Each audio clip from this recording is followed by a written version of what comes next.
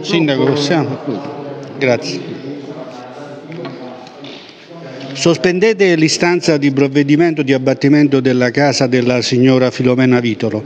Significherebbe per lei morte certa. E quando ha chiesto questa mattina nel corso di una conferenza stampa il sindaco Paola Lanzara, che tra l'altro ha inviato anche una lettera alla società autostrade e al prefetto per revocare questo provvedimento. Sindaco, perché questo appello?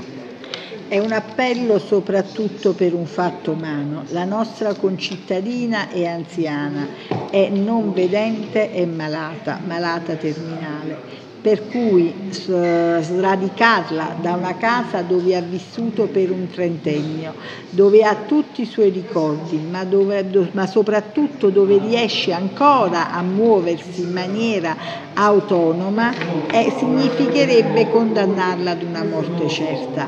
E questa è una cosa che io proprio da un punto di vista umano non mi sento di condividere e mi batterò fino allo stremo perché ciò non avvenga. Ciò non di meno meno come giurista e come sindaco so che le richieste dell'autostrada sono richieste più che legittime, sono richieste giuste, sono richieste che vanno formulate nelle opportune sedi e l'autostrada lo sta facendo.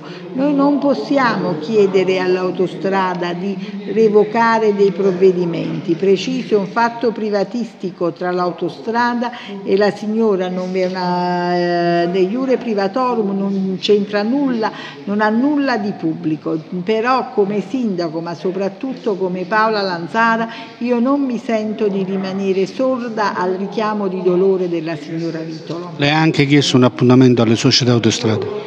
Sì, ho chiesto alla segretaria generale che prendesse questo appuntamento, non so se già si è attivata in tal senso, però abbiamo mandato una missiva all'autostrada proprio eh, per questo. Grazie Sindaco. Grazie a lei. Se fai l'intervista giustizia